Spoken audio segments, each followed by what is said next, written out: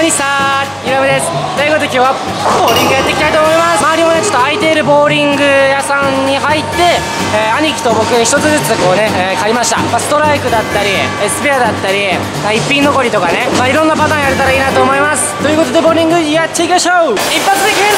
めるぜ